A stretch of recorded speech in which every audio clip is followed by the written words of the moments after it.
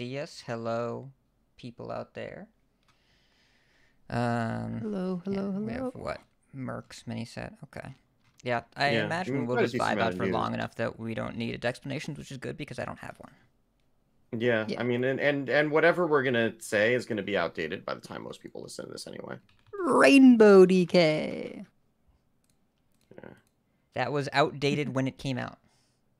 Oh, it was so much fun though. It is fun. It's I- I worse can than the deck we with it. talked about last week, but it's Yeah. fun. It is getting a new uh, card, so maybe it's good now. I I feel like it can be the deck we talked That about. doesn't seem to be the card that it wants, though.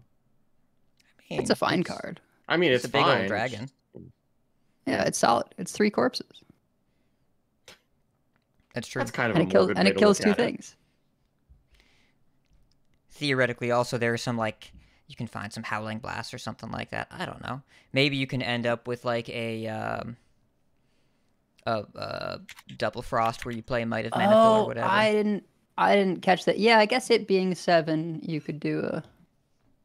Yeah.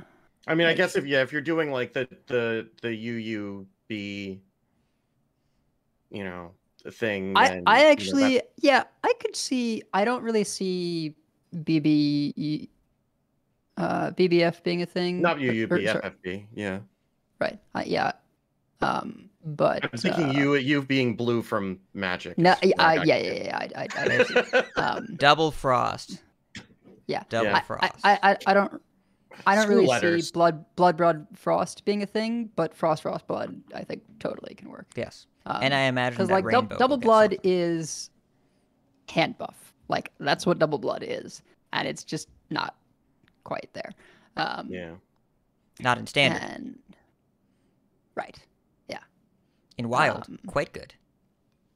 wait how there's not like more cards i'm Even There- DK. you have corpses all the time because you play Genn, oh, sure Yeah. and also and like yeah, so you get to Haunted yeah, you get to hero power Creeper. return. haunted yeah. creeper, quite Okay. good. yeah Um, yeah, yeah, yeah, So like you just you blood tap like i blood thought tap that is was active just for unholy i didn't i didn't think about that in the context Yeah. of. Yeah, double Cool. blood, single Uh, unholy, and wild is actually quite fun. i like that um that just something like uh Genn is able to to make cool Yeah, just a fifty percent reduction on your nice. hero power is enough.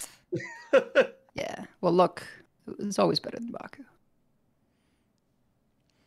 Does that run? uh Does that run chain, run chain gang? Because that's even, or is that too expensive? Uh, you can, but you run swarm guard, so like you don't Yeah, need it's both. redundant. I don't Yeah. think.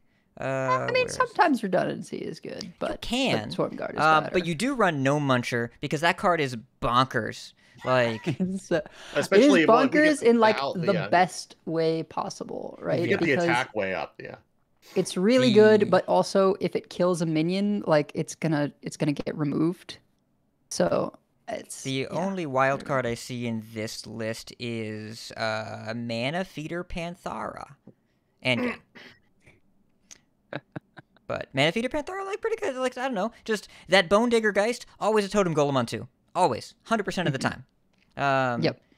So Yeah. like it's it's nice to play Totem Golems, Priest of the Deceased online very quickly, Blood Tap online very quickly. Uh, so it just it makes sense. We will be chatting about new cards, Phantom Miner, but right now Edelweiss is learning how Double Blood Single Unholy is a perfectly reasonable strategy in Wild, but not good enough in Standard, despite being twenty seven of the same cards. Yeah. Oh, did we get a couple new cards? Oh, good. I thought we were just gonna have. Well, I mean, we got the D- one. DK ones.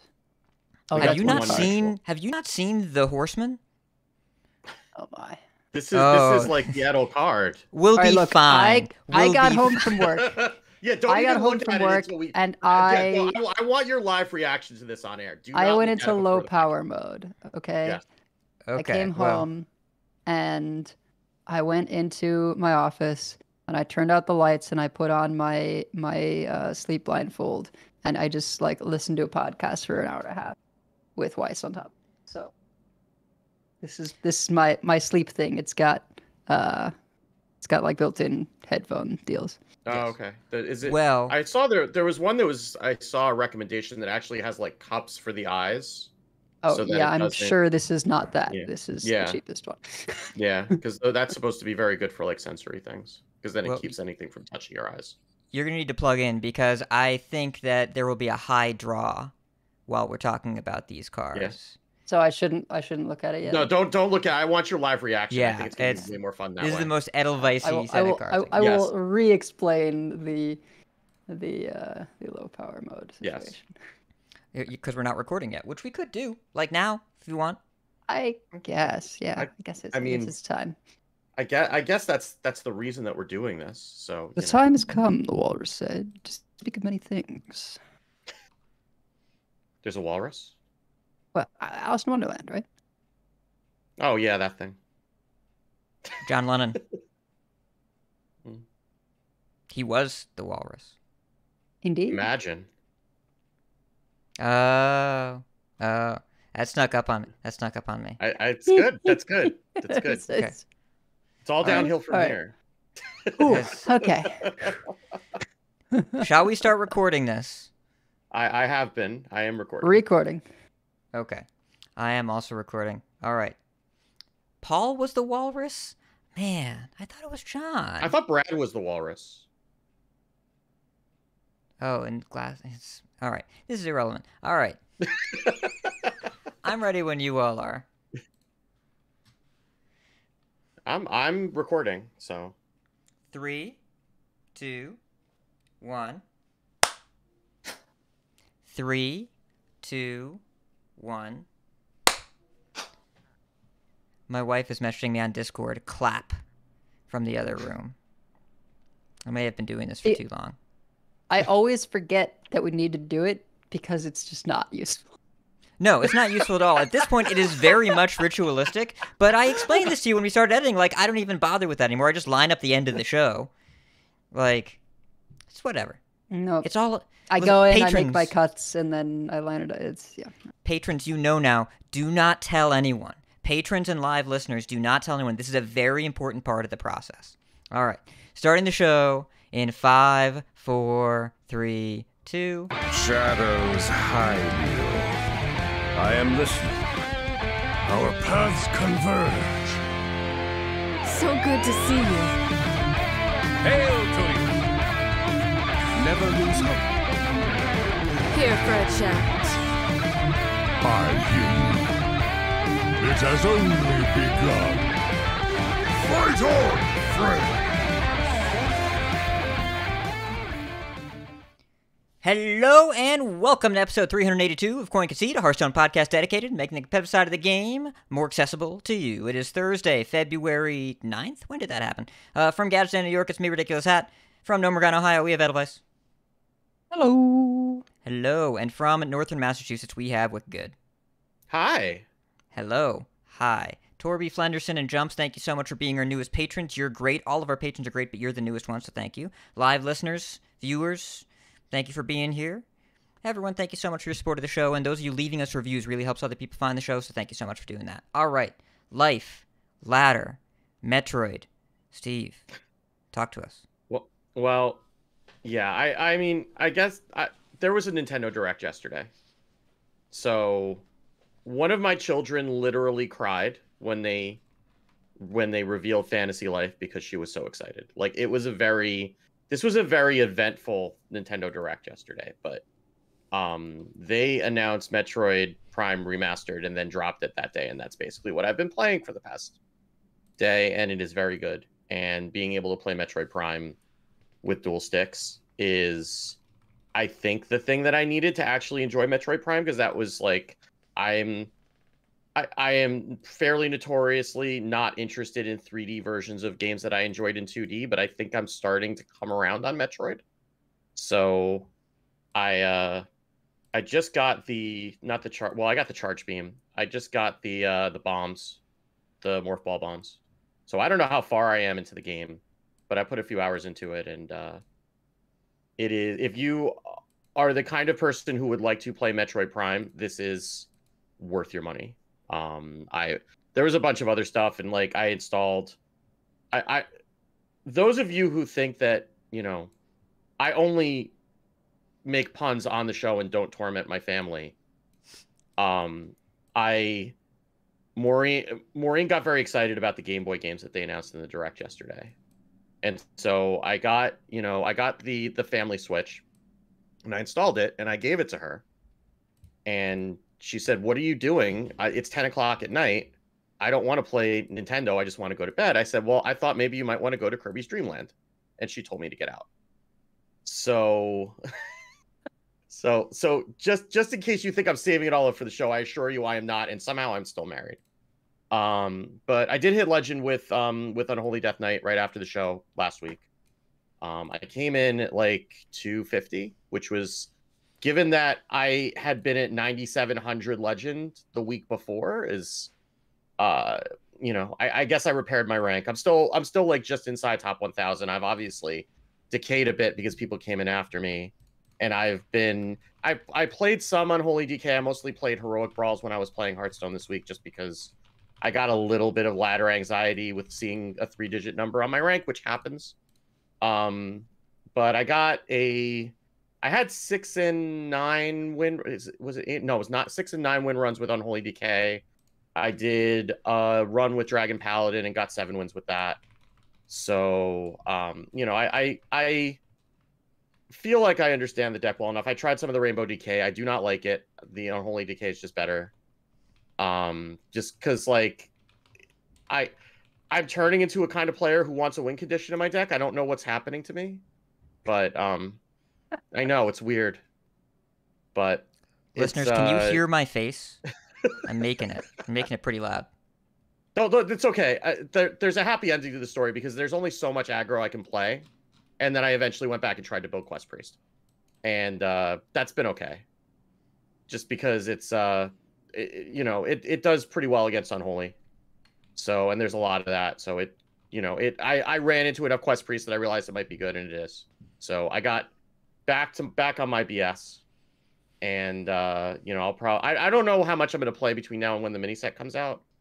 Um, I mean, I'll be playing on my stream tomorrow, but it's, it's nice to come home after, you know, going to Agro Town for a little while, I guess.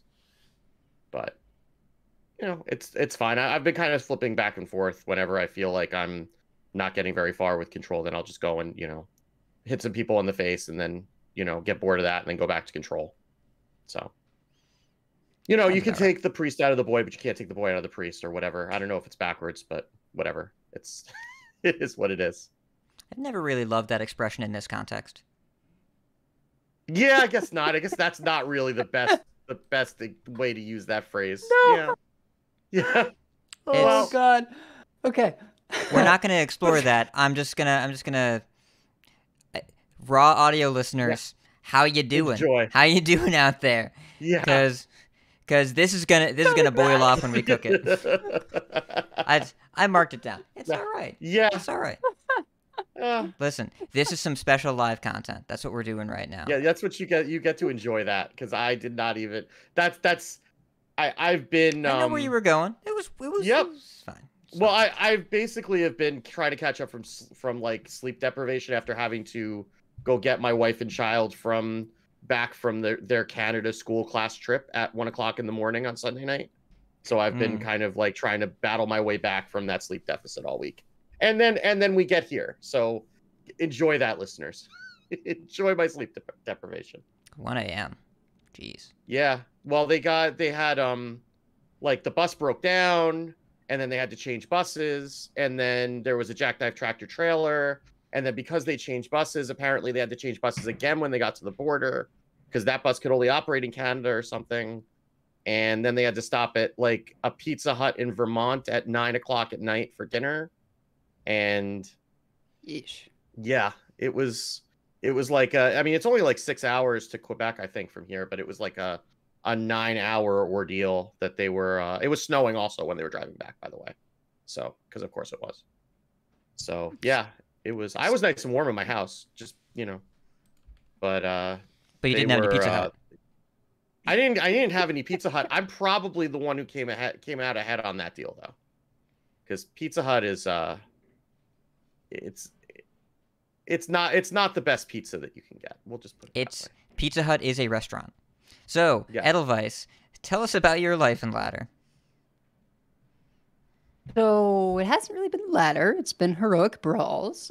I did Ah. not have any uh, 11 or 12s this time. I probably could have had an 11, but I, I screwed up my phylactery run on, on 10 wins. I was against a paladin and I didn't count, and I should have counted because I, I I could have gotten more damage in and I was not going to die, and so I should have just like had it be in play because it's not like they ran starfish. So, um, but you know, live and learn.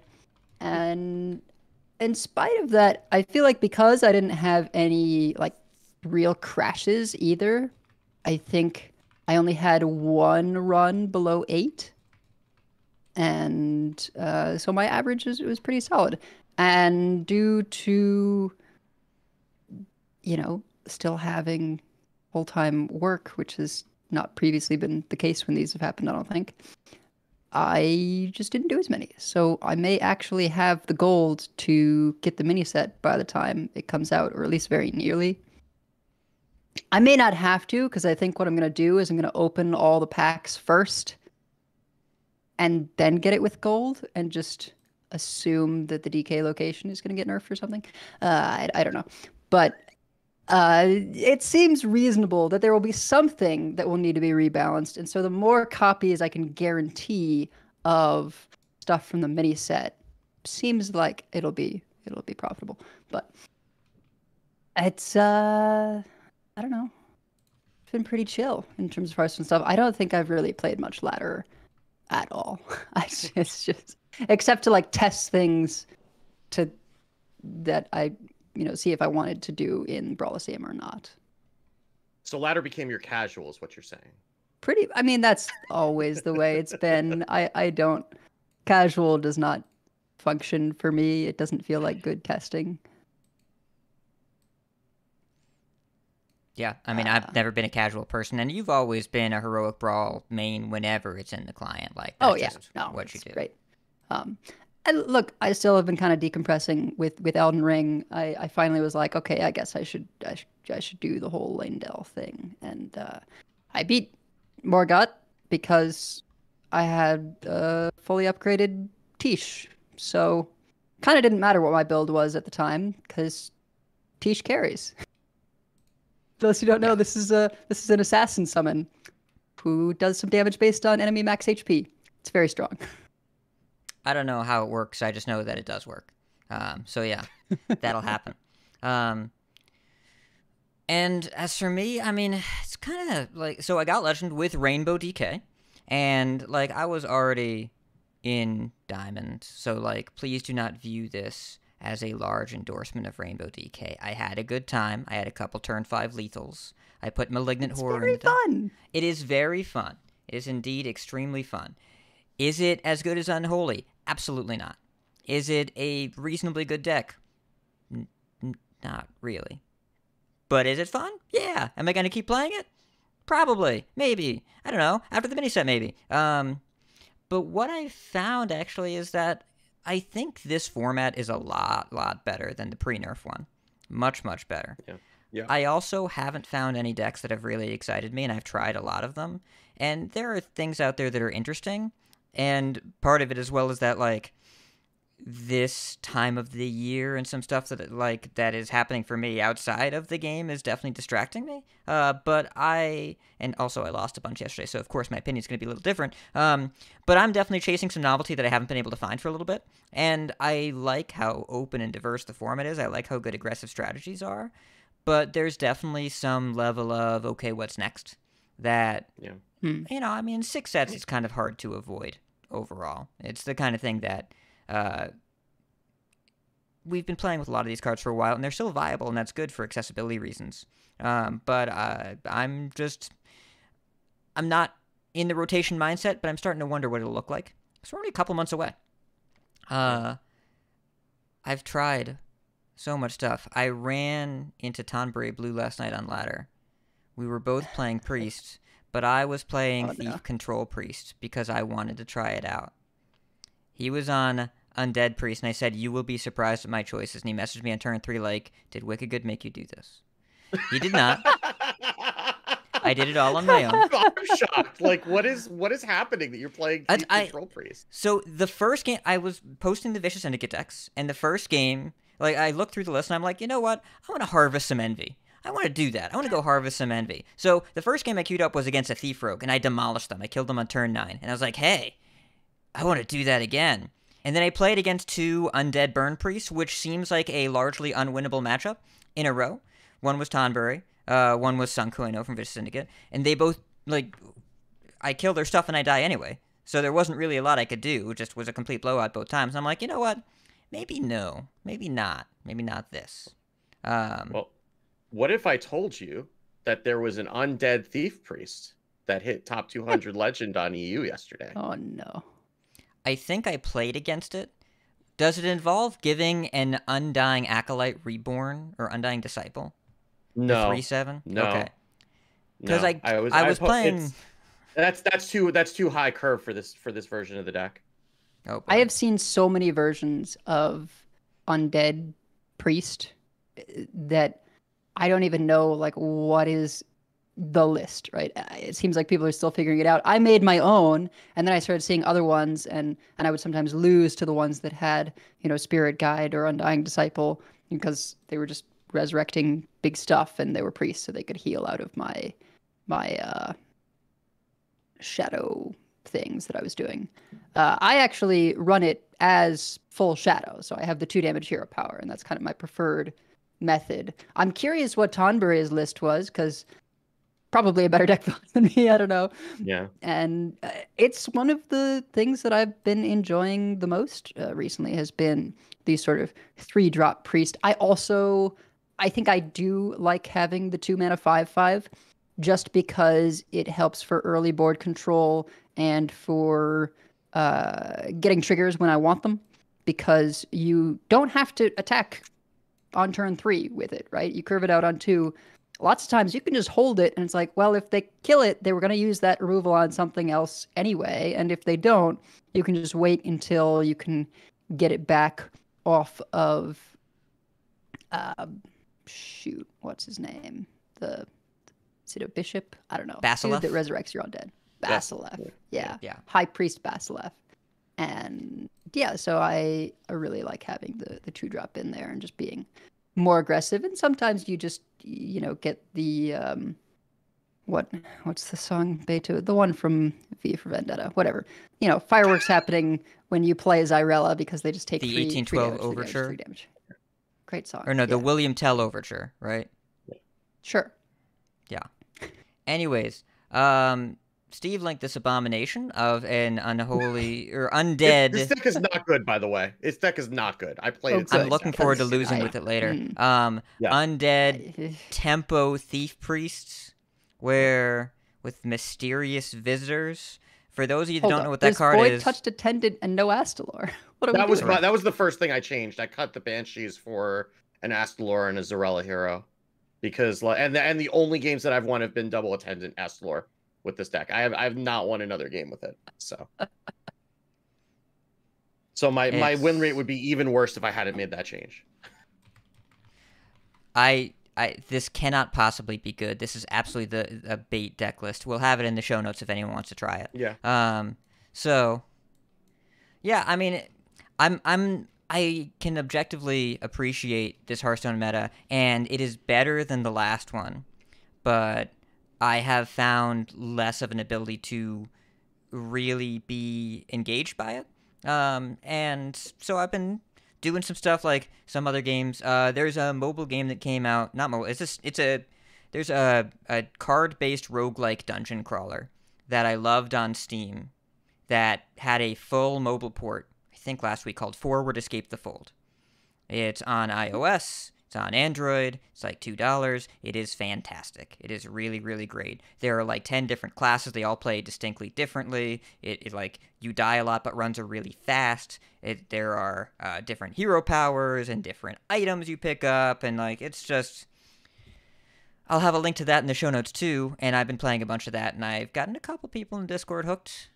I'm hoping to get some more. It's fun. It's uh, so like I've been trying that out. I've been playing, you know, been snapping a little bit, but not a ton. They just did some nerfs over there. It's all right, but I just don't play that game that much anymore. Like I clear my dailies every day and I roll with it.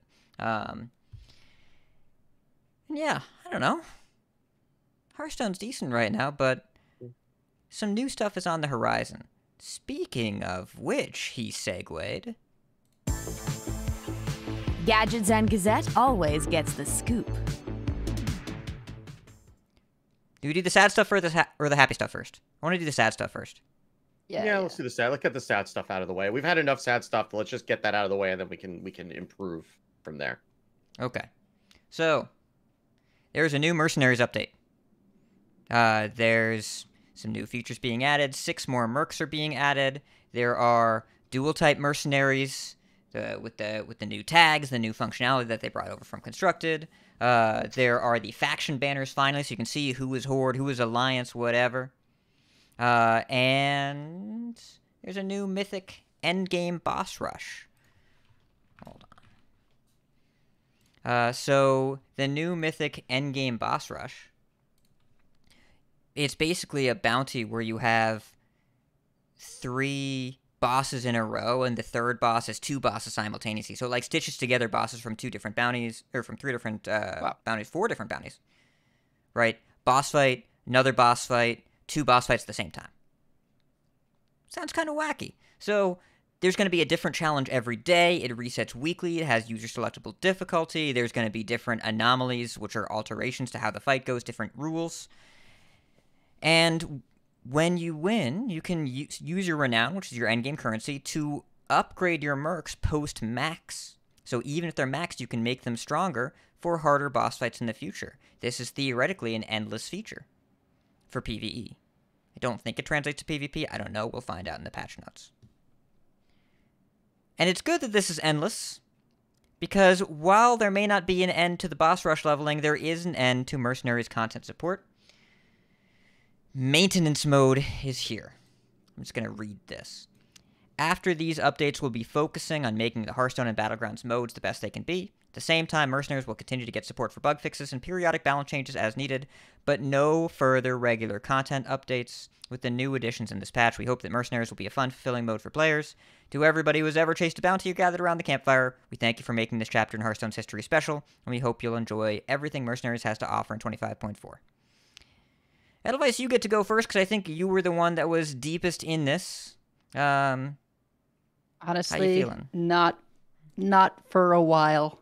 you know, oh yeah, I was for a bit after it sort of fell off. I was still, as new stuff came out, I would end up getting the new mercs because I had enough packs, uh, and then I would watch the old Guardian videos to maybe do some of the event things, and then it just became harder and harder to fit in the time to do that. And now my, you know, in bed activity is Marvel Snap, not Mercenaries. So it's sort of its position in my life is is kind of uh, fallen out. And I think what's sad is that the thing that was so exciting to me about mercenaries, and I think for for many people that looked at it and saw potential, was the PvP. And I think it has really, really cool PvP. And so many of us just were not interested in what seemed to be the main focus, which is the PvE. It, it seemed set up as though, well, it's for the PvE, and then look, afterwards, right? If you still want to do stuff, you can do PvP. I, I don't know if that's really how they thought about it, but that is how it felt. and I sort of wanted the fighting game version of this, where it was just like, just give me all the things and let me fight people, you know, because I, I want to do Theorycraft and these different uh, teams and do all this cool stuff, but I don't want to have to grind to get all the things. And that's just that's just a different game. So yeah, it's like kind of a bummer for for the lost potential, but I, I had already hit a point where I felt I was not realistically ever going to spend the time to get my mercs to a point where I would feel like I could just roll into PvP. And, and I don't know how the queue times are for PvP at this point either.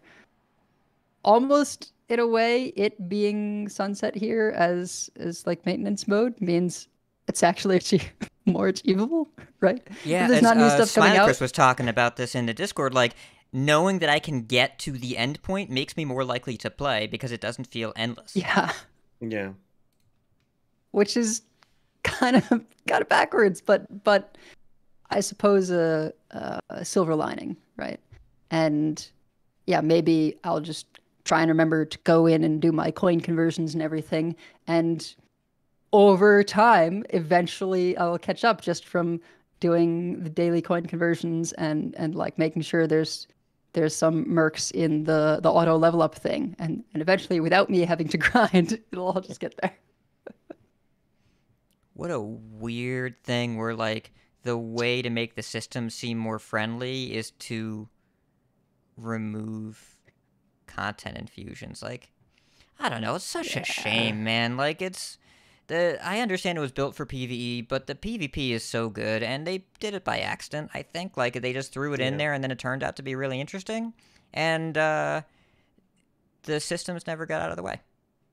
Yeah, well, they never pivoted, right? Like the way that they would have saved it was pivoting into making it a PvP mode.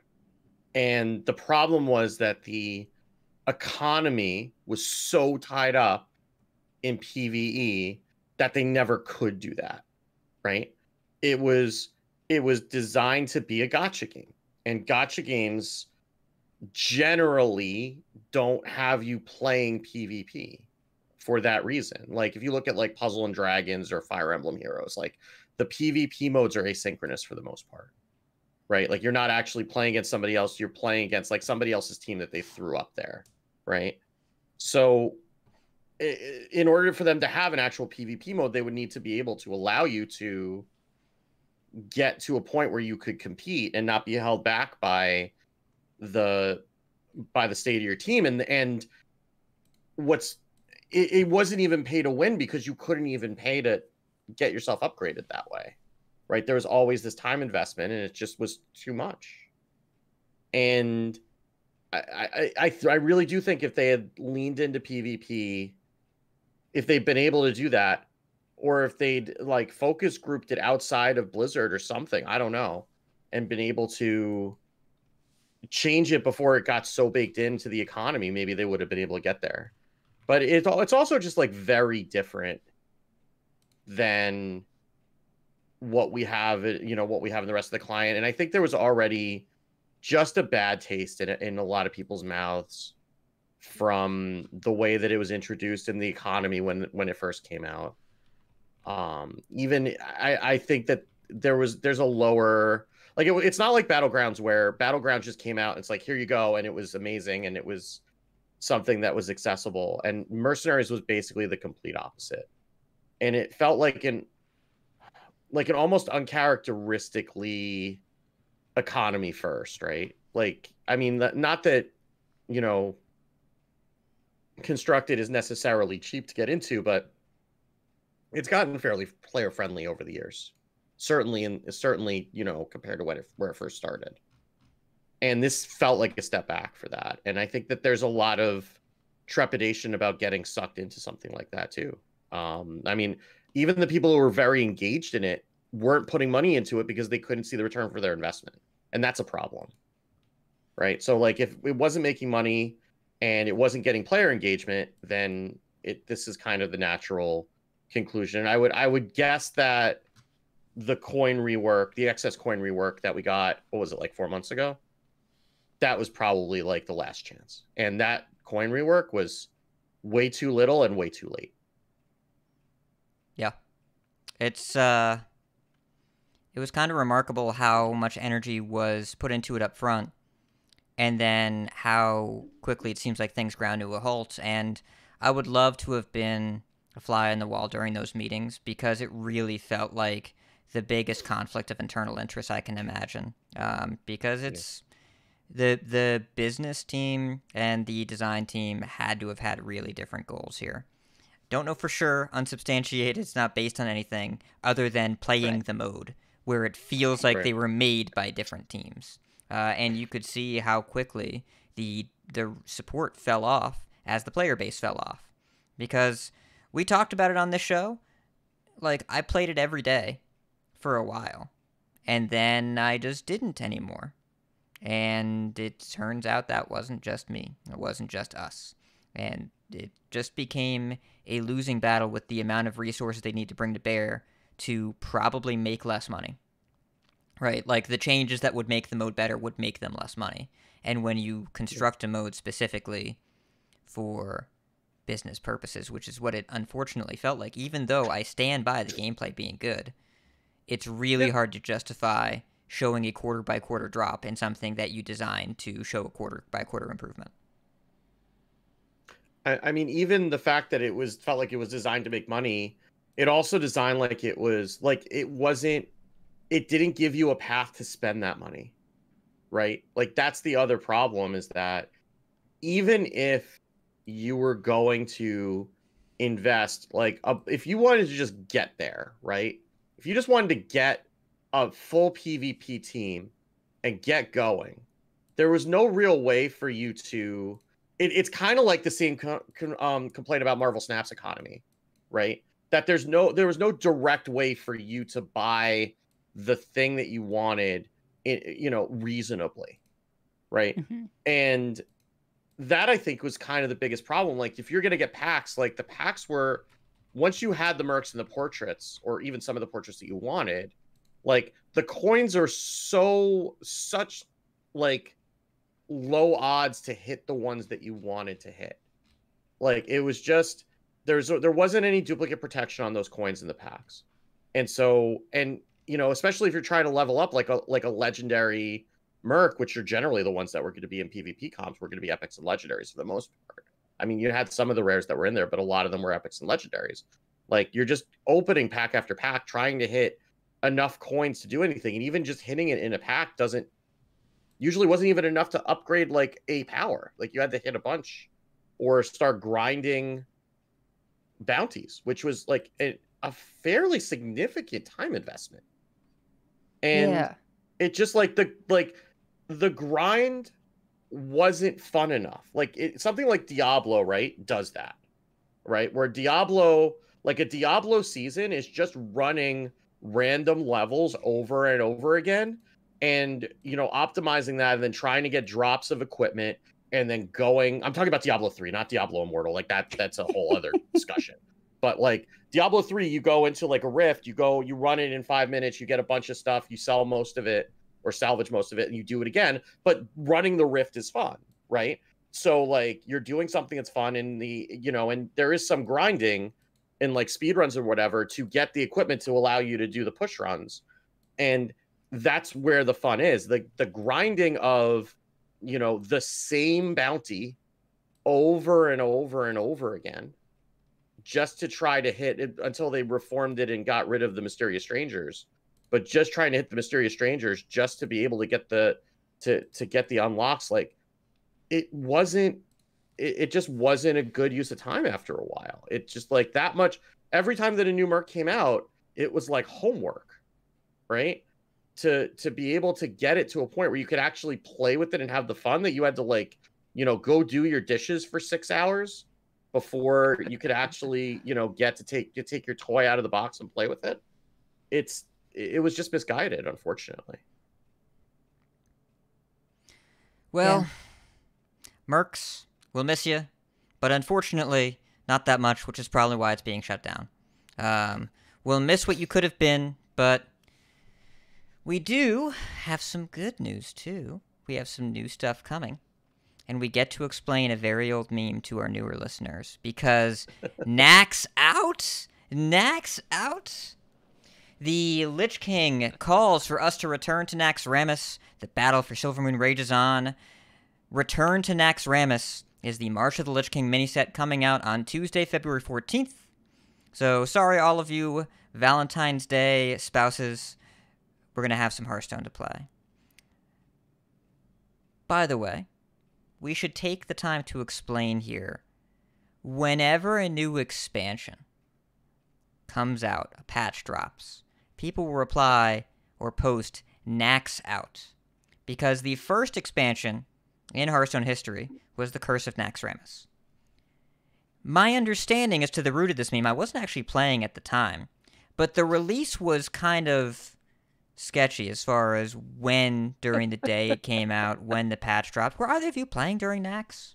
I, I I think I went in like after it dropped to like because it like the first wing was free, so it got me. But I'd been playing in beta, and then I fell off, and then I went back. I didn't really start playing until after the phone client came out. But So- I, my but my understanding of it is that like the release date wasn't like specified in advance. So like there was just like a long period of time where people would just like tweet out like or or type in a chat or whatever, Nax out and get people to go look to see it was there and it wasn't there. See, I was playing, but I was not like jacked in to any kind of community or, or social media or anything. I didn't. I actually don't even know when I made my Twitter account, but I was really just sort of Hearthstone was my. Hey, this is a card game I can play whenever I want. Whereas Magic was was still my main thing, and uh, you know I was in college. And Naxxramas came out, and I distinctly remember playing arenas to try and get enough gold to get the levels. That was where I was in terms of Oh wow. uh, in terms of Hearthstone. It was like, okay, I want to like be successful with enough arena runs to to get the gold together to to have Naxxramas because I didn't want to use actual money to get each of the wings. So I, I I just did I just did a quick Google search, yeah, I've been Because- doing some and- and research I just as want- well. and I, I just want you to imagine what this would be like today. They announced Curse of Naxxramas on April eleventh, twenty fourteen, and they re- they announced the release date of Curse of Naxxramas on July seventeenth, twenty fourteen. They it, it was coming out like that like that the 22nd. They announced on the 17th it was coming out the 22nd. But they went 3 months from when they announced that it was coming to when they actually just were going to tell you the day that it was coming out. Like that's Yeah. that's what so there was like this 3 months where people were just kind of like waiting for new content.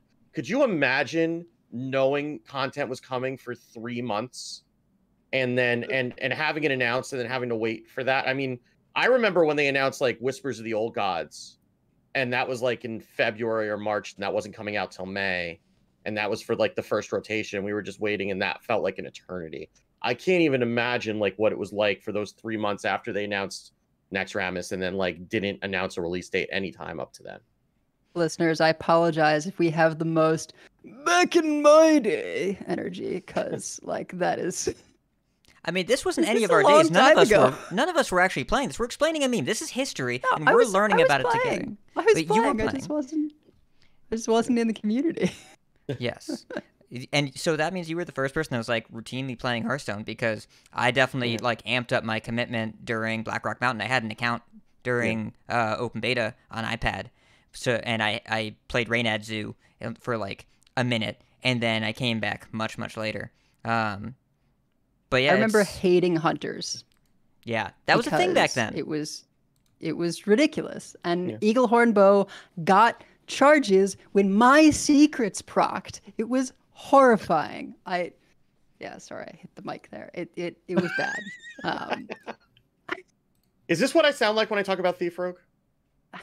maybe. It's possible. So, anyways, it was all about fooling streamers into going to reopen Hearthstone. That's fun. Anyways, we're not going to have to do that because it's going to be a lot more reliable here uh, nine years later. Ten years later. No, nine years. Yeah, 2014. So, goodness. So, we have some cards. We have a few cards. And this is going to be the bulk of the content this episode. But we have the Death Knight card. So, remember, for mini sets, you get three cards per class, and then it's five neutrals, I believe. I think it's five neutrals. Usually, Usually, yeah. they usually there are four legendaries, one epic, and then I think it's like fifteen rares and the rest are common, something like that. Yeah. And And the- the, the, the- epics is almost always neutral. Yeah, and it's usually weird. It's usually something weird. Yeah. Um, I mean, epics are weird in general, but usually the mini set epics are like, oh, what's that thing?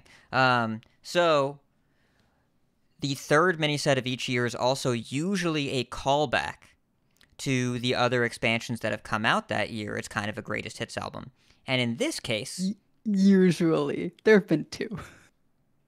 uh, Are there three? Last year had- was. Yes, there have been. This will be the third. This will be the third, Yeah. right? So last year we had Yes. uh, uh, Kazakhstan's lair or Onyxia's lair. I, I was right, actually. You know what? Yeah, My first was- answer was was, really correct. That was Kazakhstan's lair. It was Um, Kazakhstan's lair. Nixie was just living in it. Yeah. Yes, and the year before that we had uh, Darkmoon Races, which was a Yeah. bomb mini set, super good, really impactful, better than the actual expansion it was in. But I digress. So I, I guess Uh, before that we had Galakrond's Awakening too. The year before that. yeah, that was weird though. That was an adventure. That was a test. Yeah. Well, they're they're all kind of weird, but yeah. They are, but it, yes, that was the prototype. You're right. Um, so we have a Death Knight Naga, an undead Naga, a Death Knight location, and a Death Knight Colossal, because we got to fill in what they were missing from this year's mechanics. So let's start. We've got Rimescale Siren. It is a 3 mana 2 3 undead Naga. Battlecry, if you cast 3 spells while holding this, freeze 3 random enemy minions. It has a single Frost rune. We've got Construct Quarter, a 3 mana 3 durability DK location. It has no runes. Base. It is a base DK card. That destroys a friendly minion to summon a 4 5 undead with Rush. It's absurd. It's a it's a pretty wacky card. Um, and then uh, and then we've got Frost Queen Sindragosa. Yes, we have a Sindragosa Colossal. Yes, this is rad. She is a six six undead dragon. After an enemy minion is frozen, destroy it. And she has two two one wings. They have rush, and whatever they damage, they freeze. And so that means that they freeze something, and then mom blows them up. Pretty cool. So let's talk through these cards. We've got more cards after these, but let's talk through these cards first. Rimescale Siren, the Naga. Kind of weird. Like triple freeze is okay. It will like will this go in Frost DK? We play a lot of spells, but I don't know if I care about this. I think this is more shot if something comes up that is not triple frost, because triple frost, you've got Frostwyrm's Fury. Like that's what you're building to, and there's just there's so many good options in in triple frost, even among the double frost cards. I think of the weapon. I'd much rather have the weapon, which can kind of go halvesies based on your corpses Yeah. to freeze things and does eight damage, than a three mana two three. Uh, casting three spells is a lot. We've we've seen this on on other cards. I know Frost DK does more spells than than other things, but it, it just feels weirdly positioned to me because Triple Frost will have the most spells, but this is a, a single Frost Rune card. Three mana two three is not particularly aggressive. Uh, you're not terribly likely to have this online on three, and I don't know. Freezing three is pretty good, right? That's fully upgraded flurry, but you have to play a creature to do it. I just I'm not seeing where this slots in, and I don't think it ever makes the cut in a triple frost. Uh, unless it's a very, very board heavy meta, and you're just like, give me all the freezes. now, I- notably, you can play it on the same turn as the colossal, and it's pretty good there. It doesn't have to go in the deck because Frost Strike is a card. That's true. That's very true. So like this is something else that you can pull off. The, it's gonna be a little awkward off of Frost Strike because then you're gonna have to hold it in your hand for a while. But I mean, Frost DK also has. I mean, it has Frost Strike. It has Horn of Winter. It's got um Icy Touch. Like it's got a, a- enough early game. I mean, the coin counts too. Um, it's got enough early game spells that it can play that can turn this on. I don't know how if it's gonna be on by turn three consistently, but also doesn't necessarily need to be on Mhm. by three consistently. But yeah, I don't know that this goes in a deck, but this is something you'll take off of Frost Strike with the with a hand that can support it um occasionally. But yeah, Might of Menethil is just better in that deck because you don't really have a lot of uses for corpses other than like Marrow Manipulator if you get that off of a Frost Strike. I guess here's what I'm thinking. If the the Sindragosa deck happens, which we'll we'll get to that, but it's something that is frost but not triple frost. I I see this making the cut because you don't have access to Frostwyrm's Fury anymore for the full board freeze. So maybe you do Might of Menethil and Rimescale Siren, especially because of the the synergy with uh, Frost Queen, Queen. Horn of Winter is still only a double Frost Rune card, so you you still have that. You can do some combos there. Maybe eight mana Sindragosa, Horn of Winter, Rimescale Siren. That could work. But I don't think this ever makes uh, the cut for Triple Frost. What purpose is this card serving? What problem is it solving? Who is this for? What is this for? These are my questions, right?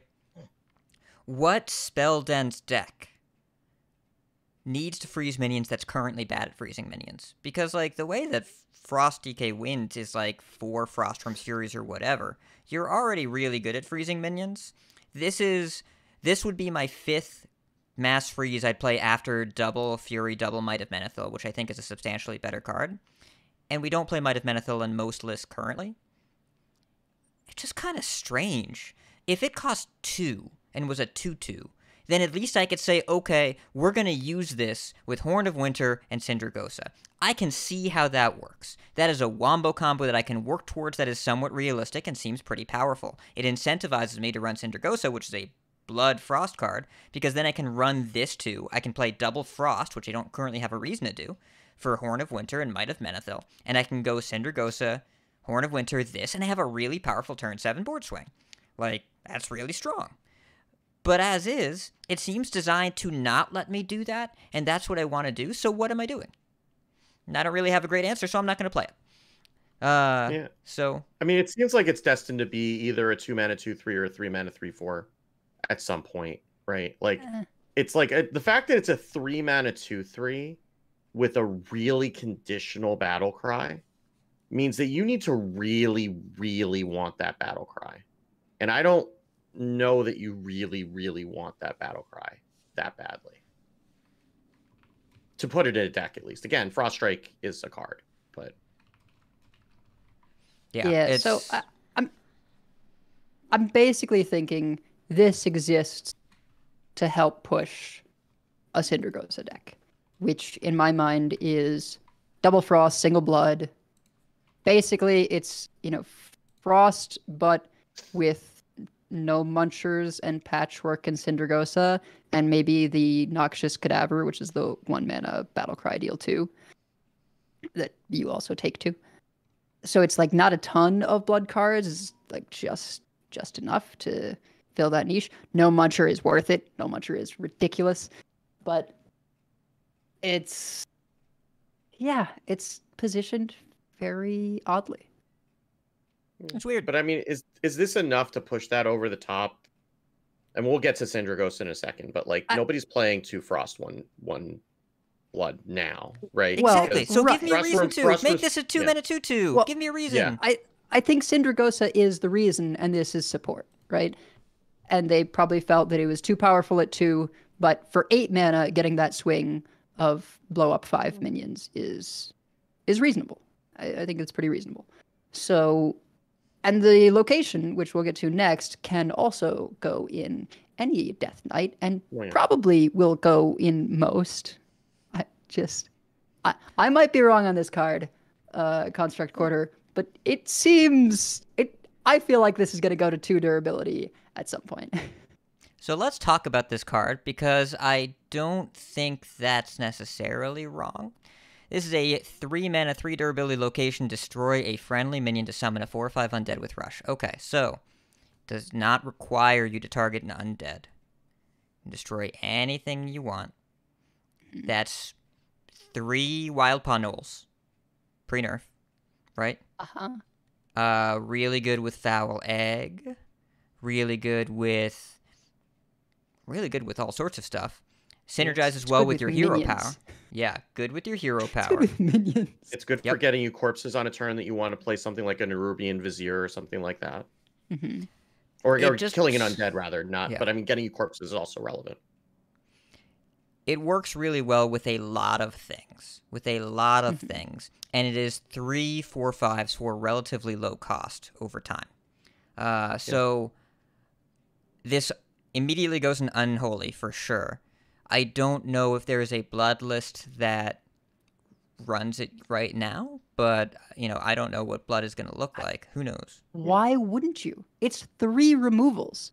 You just do this on your hero power, right? You play it on three as a, a blood deck, and you're like, okay, low tempo turn. Next turn, I hero power, make a four five. It- Yeah. It's just pretty solid in terms of removal. Uh, you know, similarly to the way that we felt like the location in Mage was just kind of good in everything. I, I feel this also is pretty good in everything, and I think it's going to get the same nerf. Yeah, I mean, you run a lot of junky minions in Blood DK, right? yeah. like, I mean, I mean, Yeah. they're they're, they're do, they do things, right? But like, you run Body Bagger, you run Hematurge, right? Like, you run minions like that. That like, once you play them, they suck on the board. If you can play one of those and then turn it into a four-five and remove something, I think you would. Especially when you get, I mean, the first one's expensive, but the other ones are okay. And by the way, your your hero power makes a one one that's going to die at the end of the turn. Yeah. So you may as well just have it leave early to avoid the rush, and then and then bring a four five on board, and that's perfectly reasonable.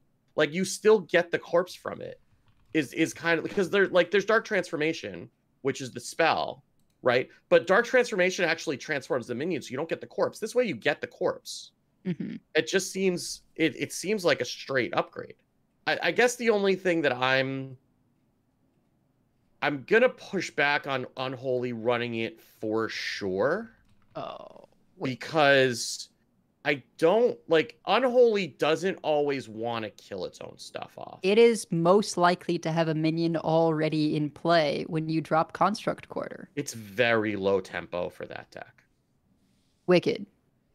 If you turn a body bagger into a 4 5, that's pretty good tempo. it it is if that's not your whole turn and you did and you started the turn with a board Look, Caverns in Shaman is low tempo the turn you play it. It's a 4 mana 3 4. yeah But the whole thing is you you you get that back in later turns. Yeah, I'm So not saying I'm not saying you're wrong. I'm just saying that I don't know that it's an auto include because there are cards that look like they should fit in Unholy DK and turn out to not be good enough. I mean, we just So put eggs in I'm- the deck, right? Like egg just goes in the deck now. I don't know that you do because egg if you don't have an activator, and I because like that's you're talking about undead. You're you're talking about uh, an incubator.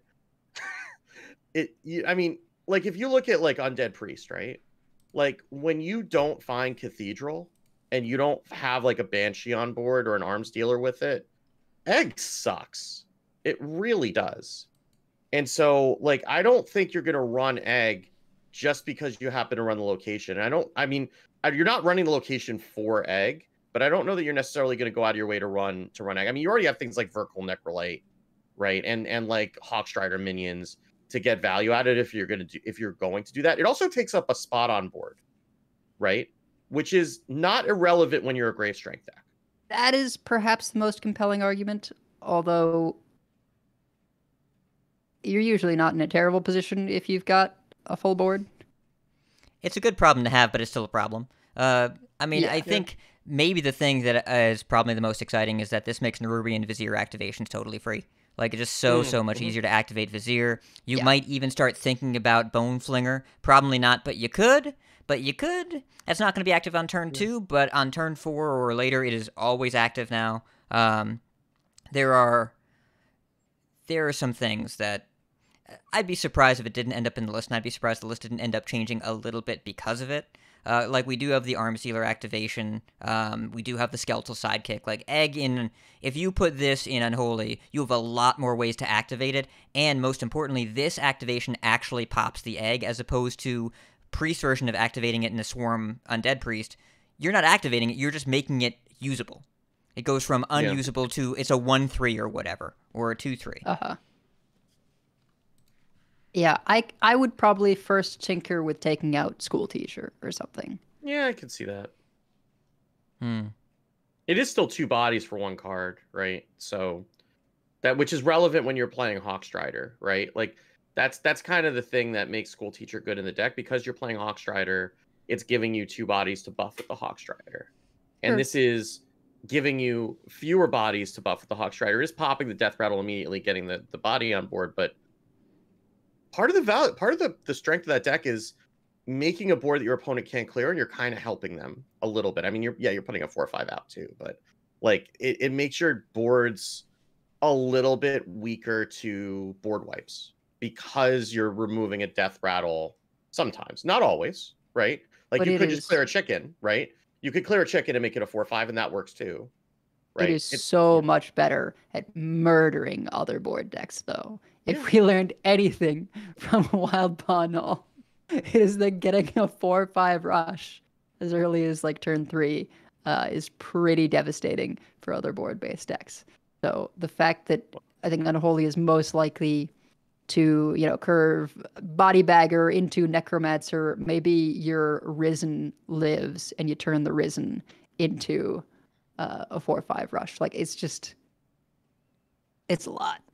It's a I mean, I'm going to. I mean- I'm going to cut amalgam, and I'm going to put in this. I'm going to Yeah. cut amalgam. yeah, and okay, put this in, okay. sure, now, sure. now you're now Yep. you're now Yep. you're talking. Okay. and then That I'm makes going to cut. yeah. I'm going to cut peasant for egg and see how it works. That's what I'm going to do. Sure. And try it out.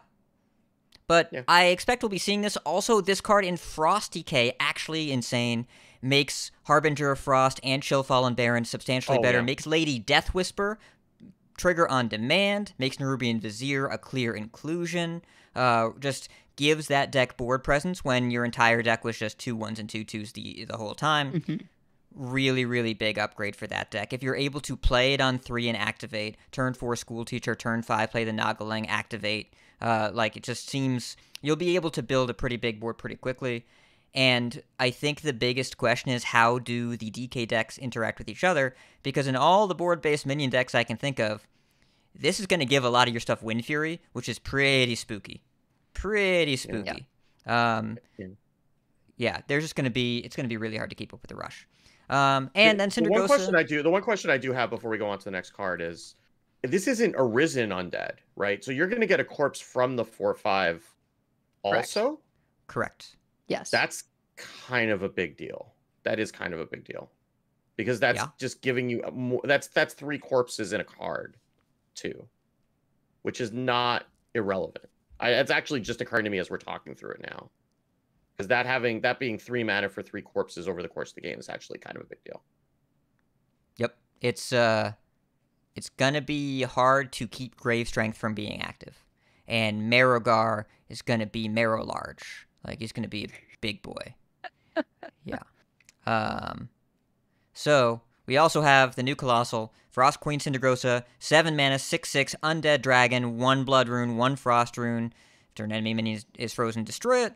And then you get two 2 1 Rushy Wings that whatever they hit, they freeze, and then they blow up. Uh, so we've basically talked through this card already. Uh, Rainbow DK is going through some adjustments. Uh, it still is under 50% win rate overall. It is still total bait. This card might make that a little bit better. Uh, we'll see, but it does allow you to remove a couple things and play into other free synergies. We don't have as many free synergies to play into, and Rimescale Siren is pretty actively costed to be difficult to use here. So, like, you can use it with an Icy Touch or whatever, or a Noggling on Howling Blast. I'm not really sure where it's going. Um, feels reasonable, but this is not the most powerful Colossal we've seen. It's a fun card. I want to try it. It looks rad. It's it's not the most powerful, but it's still really solid tempo play. I mean, the fact that just on its own you kill two things of any size, and if you're just playing it naked, they have to worry about the wings freezing their face, right? So it has that threat. It's like somewhere between I don't know Krakatoa and um, I guess the other thing that somewhere between Krakatoa and Leviathan, I'll say. Yeah. It's Yeah. probably worse than both of those, but that's okay. Like, I think it's Yeah. still playable. Contextually, right?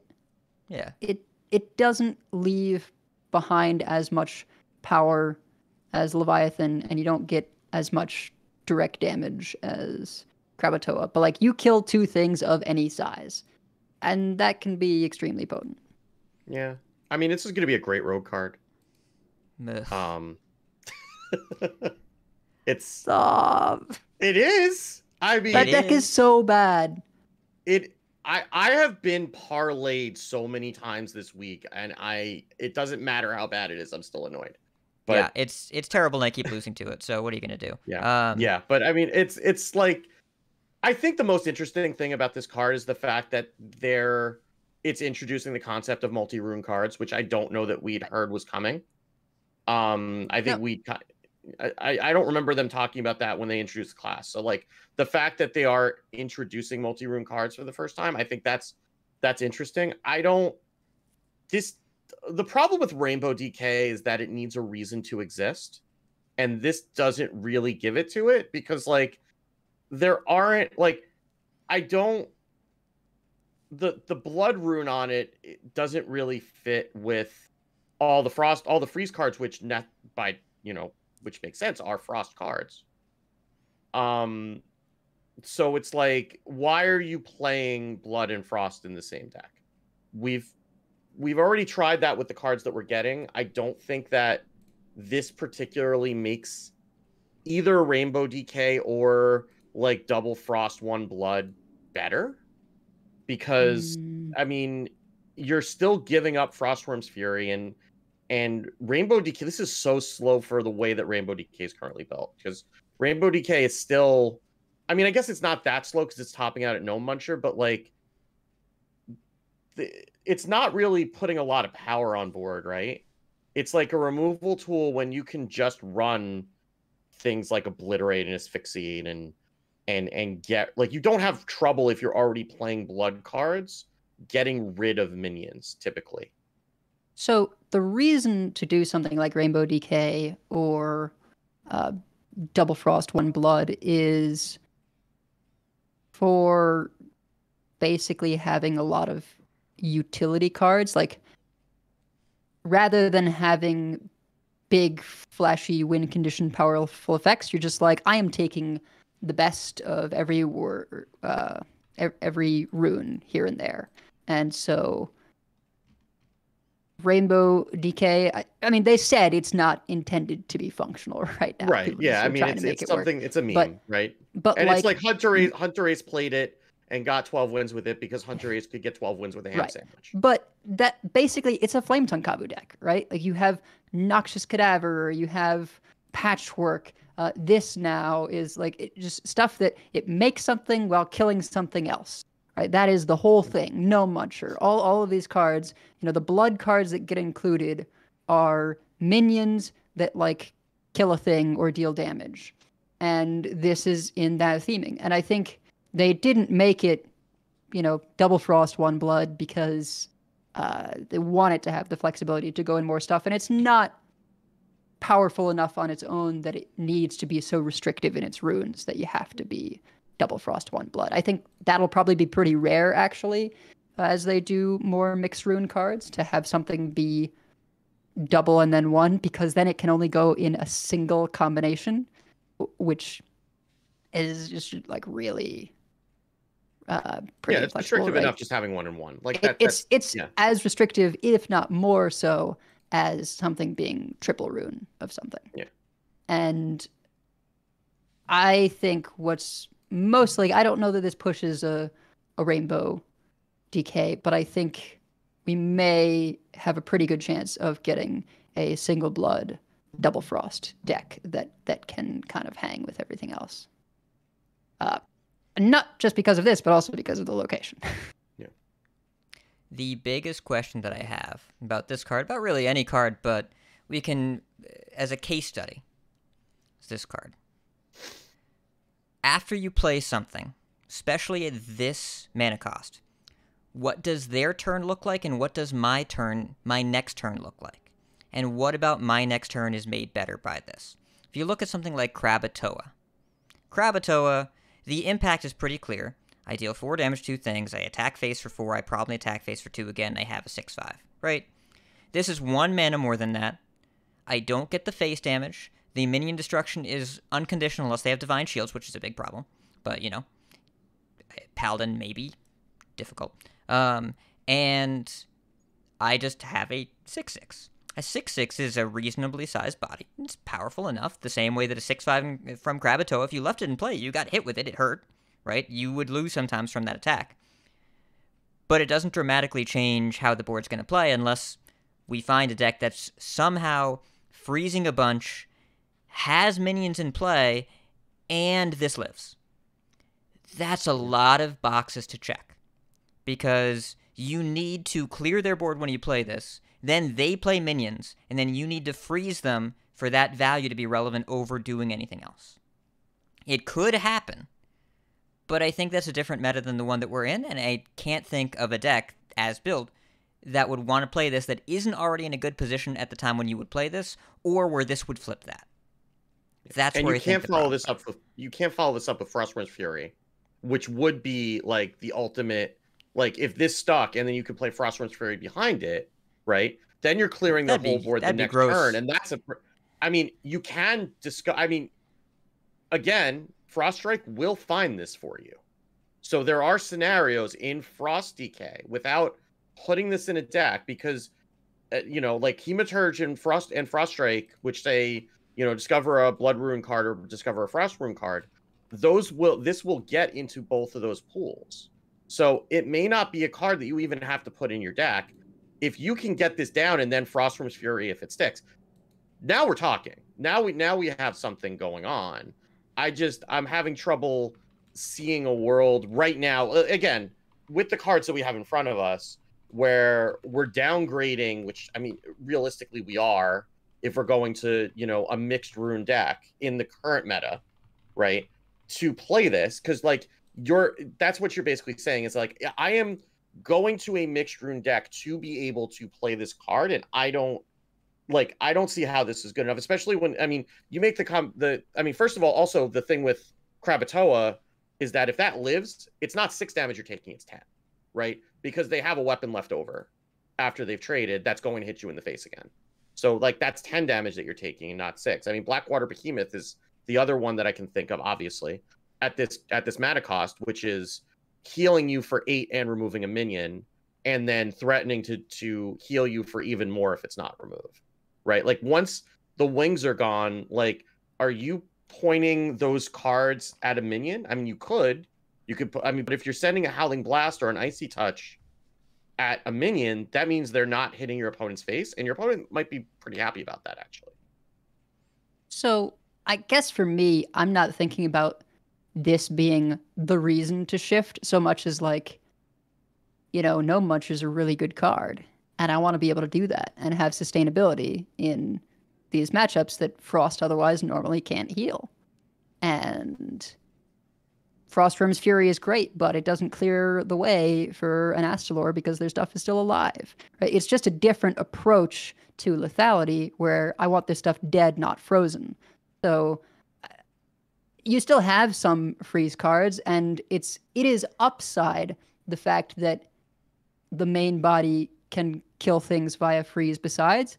But I think the utility is just well, Patchwerk isn't going to cut it here because Patchwerk destroys something randomly, and here I get to choose the two things I kill while making a body. And this is a more threatening body than Patchwerk, and the the double frost, uh, one blood ran Patchwerk.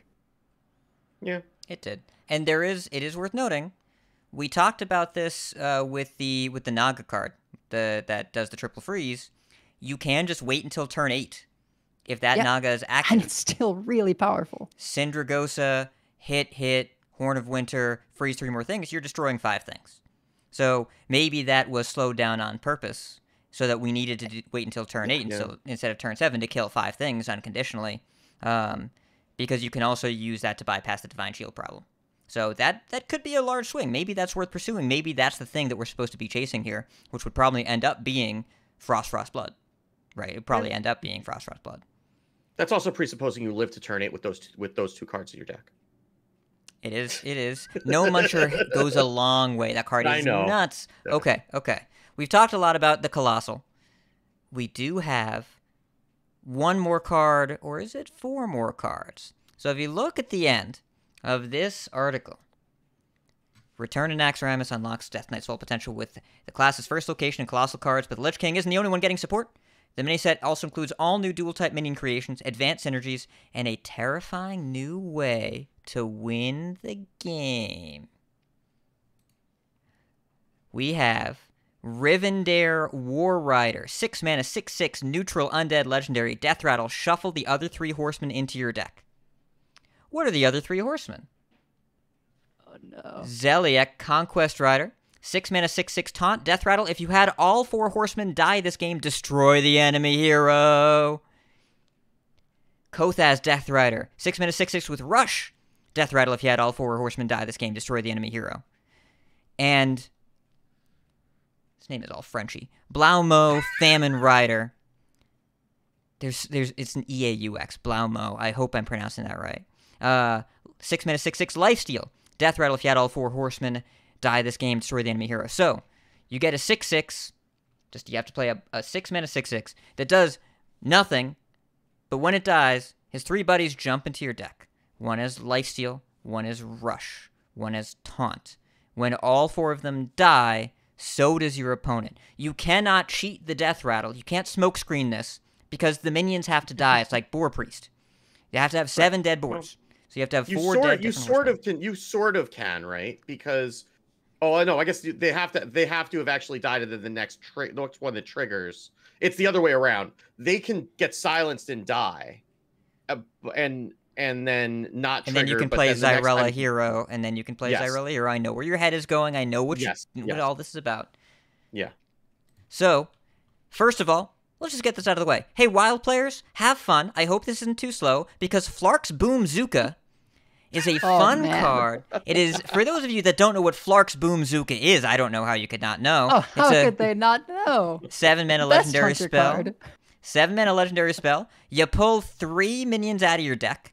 They attack three random enemy minions, and then they die. So if you if you play Master's Call and the only minions in your deck are Maxima and Rivendare War Rider, then you Maxima Blastenheimer, hit him with a Rivendare, turn seven, you flark Boomzuka, and you tell your opponent to get flarked, and and the game is over.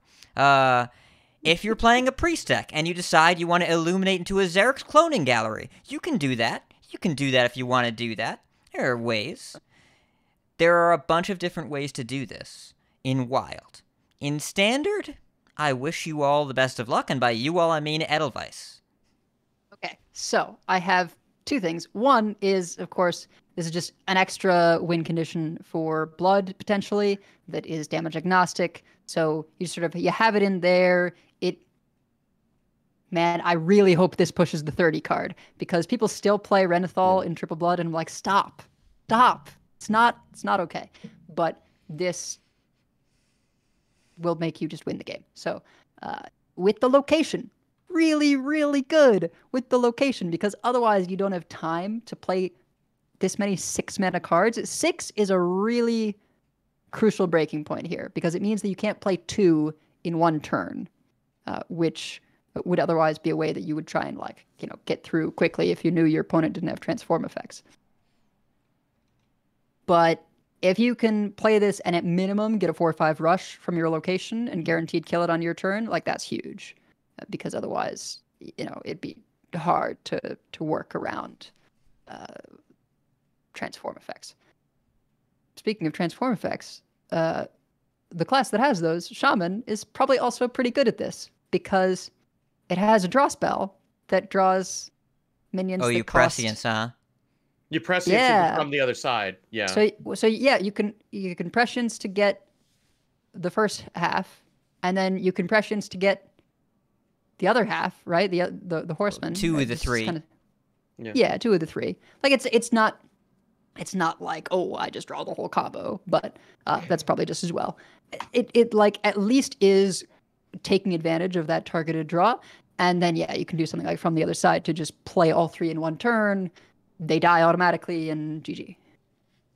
can, can i offer you another scenario What? Does it So- involve Quest Priest? no no Does it paladin involve cutting? Okay. Yeah, okay Paladin has pyro equality. So. no paladin has uh has order in the court and front lines Oh, that's true. Although Frontlines doesn't kill them. no but it gets them all on board at once That's true. Yeah. So Huh. you know, I'm just I'm just giving you things to think about. That's all. Yeah, yeah. Okay. I dig that. I dig that. I thought you were talking about Kirby's Dreamland earlier in the show. You seem to be going back to This is- Dreamland. yeah. So this is, you yeah. could get a reduced uh, equality. Actually, Oh man, I've Yeah, got this Pyro, in my right? brain. Yeah. Like you can still run pyro. The main thing is like you still need to play the first half and kill it. I think that is the trickiest thing. Is it's not like just at start of game you have the four horsemen in your deck. I think they realize that would be too good. But yeah, I mean once you play it, if you front lines and you get Cariel or you already reduced inequality to one, you get a pyro and you get the three horsemen. You just you just 10 mana front lines equality. Easy. Okay. Sure. All right. I, I mean, real, realistically, realistically though, right? Like, this is a one card win condition in a slow control deck when you would otherwise play fatigue, right? It it it alleviates having to play Renathal to fight for fatigue if you can play this in your deck. Now, granted, the other control decks will have Theotar, they'll have other ways to deal with this. Presumably, Theotar is going to be less of an issue if you can, because this is going to come down immediately. And as long Mm. as they don't silence it or transform it, then you, the rest of them are going to come down immediately. And, um, but like realistically, this is something that like we're playing. You play the quest and quest priest to have a way to end the game without having to piece together 30 or 40 damage, right? Yeah. And so this is another way to give yourself inevitability as a control deck without having to rely on fatigue as a win condition. It's it's slow as hell, but if your if, if your entire game plan is stay positive and don't die, then this is something that you could just throw in and it could be a potential way to to end the game especially against another control You know what needs this the most and has no way to take advantage of it? Control Warrior. yeah well they could shield slam stuff i mean they can brawl and whatever No, no, too. no. I mean, from the- they're from the drawing drawing them is the hardest part. I mean, maybe Warrior has enough draw that you can just draw your whole deck at this point if you Yeah. if you really build for that. Char- charge warrior does that right i mean charge warrior effectively be- between like um you know the destroy your weapon draw a card and I guess it would be a frontlines deck. Yeah, that's weird. The, the problem is that Oh, to the front. To the front. to the front Yeah, yeah, yeah, yeah, to the front. to the Yeah. front. The problem is that Shield Shatter doesn't kill them. So I, I, I don't know what is your kill them all at once in the end. We don't have, uh, you know, who would be great with this is, uh, I don't remember the card, but it's three mana, three, four that just ate your, your board. Yeah, that'd be perfect. Yeah, but I mean, if you can get a bunch of them discounted with a brawl, right, with from the depths, you know, like that's it. It's it. Yeah, it's asking a lot. I, so I actually, uh, chat pointed out something very relevant here that I didn't realize. I didn't even read that the horsemen that get shuffled in have keywords. So yeah, like they're all six six six. um, one has taunt, one has rush, and one has lifesteal. Varian, for the time that he's still around, draws the taunt and, and rush. So I'm thinking this shaman, you know, your first prescience draws you Varian and Rivendare War Rider. You you play the the War Rider, get it killed. That's going to be the hardest part for shaman is killing its own minions. Um, but then you know you get Varian later on to draw two of them, and you're you're most of the way there. yeah, And, and warlock. oh, and, well, yeah.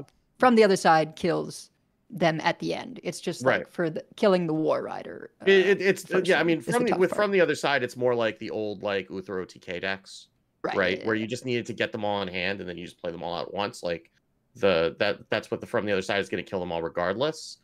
So that could give you something. I mean, Warlock theoretically could take advantage of something like like Shallow Grave to just shuffle a whole bunch of them into the deck and you know use some of the other things. I don't I don't know. Mad at Arms will figure something out that's that's you know uh, does something.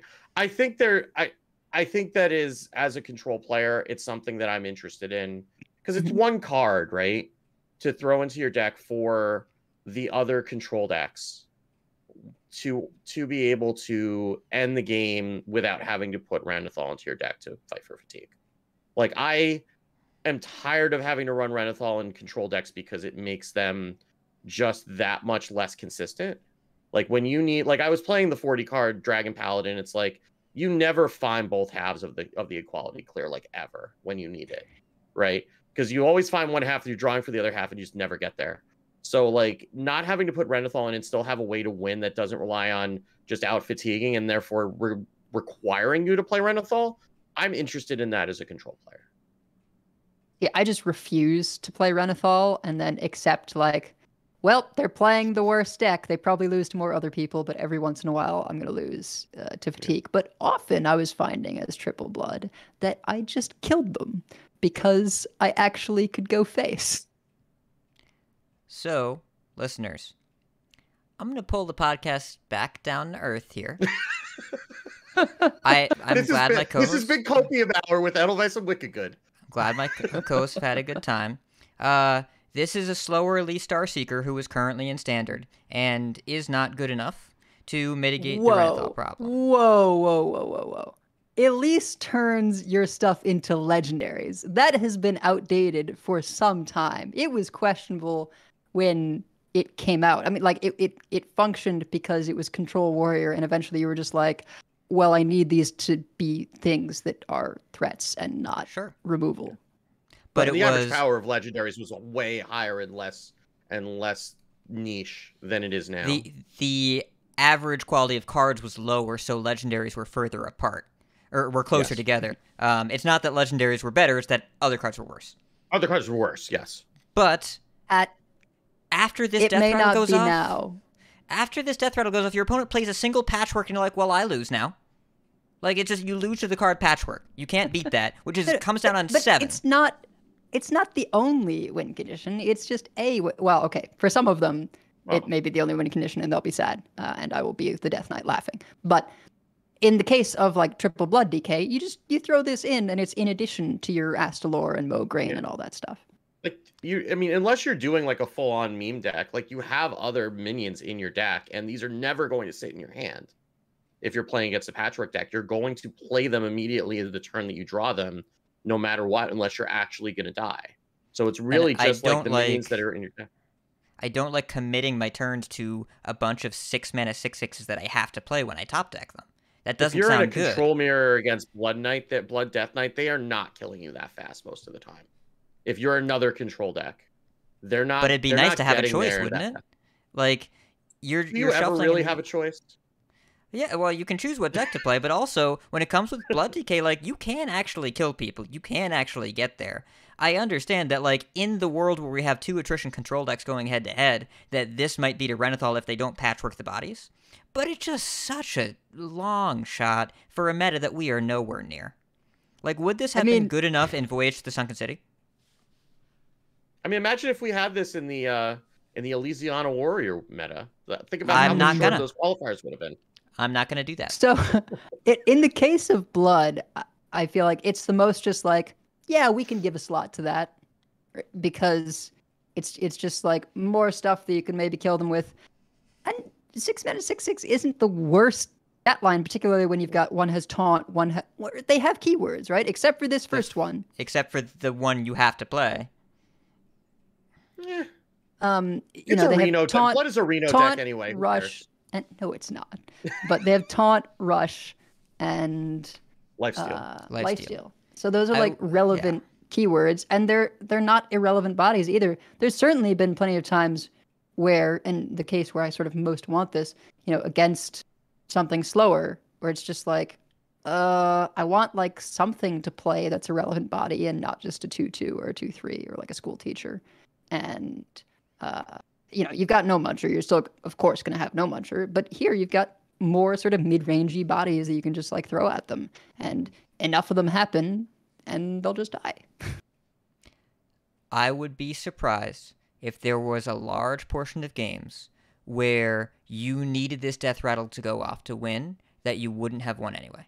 I'd be surprised. There won't be none, but I don't think there will be many. Like, if we need the six sixes for threat density, I don't know what's going on in those matchups. That doesn't match the standard I've been playing.